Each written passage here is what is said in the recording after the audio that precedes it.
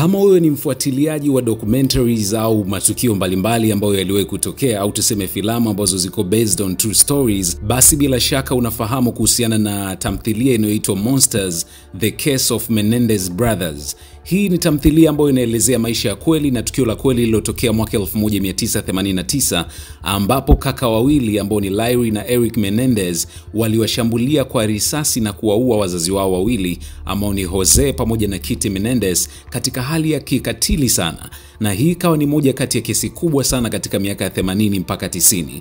Sasa hivi karibuni, baada ya tamthilia hii kutoka, imerudisha tena umaarufu wa hawa Menendez Brothers ambao tayari walishakamatwa na wako gerezani kwa miaka mingi sana. Sasa baada ya tamthilia hii kutoka, watu wameanza tena kufuatilia maisha ya Menendez Brothers na hasa zaidi jumba ambalo walikuwa wakikaa huko Beverly Hills nchini Marekani. Hivi karibuni mitandao imeripoti kwamba watalii kutoka kila kona ya ulimwengu wameanza kumiminika katika jumba hilo ambalo hivi sasa lina, linamilikiwa na mtu mwingine, na watalii hawa wamekuwa wakifika hapo ili kuweza kulishuhudia jumba ambalo Menendez Brothers waliweza kuwaua kikatili wazazi wao. Hii imewashangaza majirani wengi wanaokaa eneo hilo, kwa sababu tukio hilo limetokea miaka mingi sana, zaidi ya miaka 25.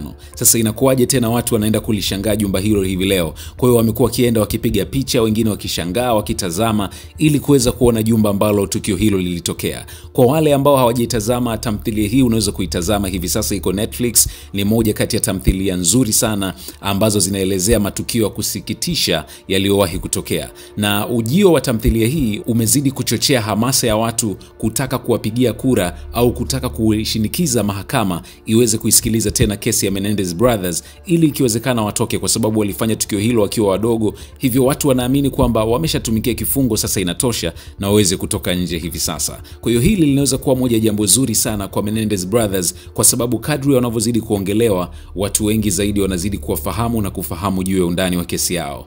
Mimi naitwa Justin Shedi, tukutane kwenye video inayofuata.